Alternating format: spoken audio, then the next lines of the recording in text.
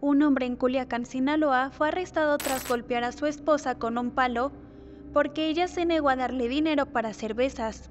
Los gritos de auxilio de la mujer alertaron a una vecina, quien llamó al número de emergencia.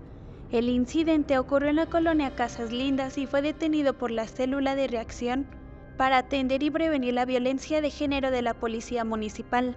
Al llegar, los agentes enfrentaron insultos y amenazas por parte del agresor, José Rigoberto N. de 46 años.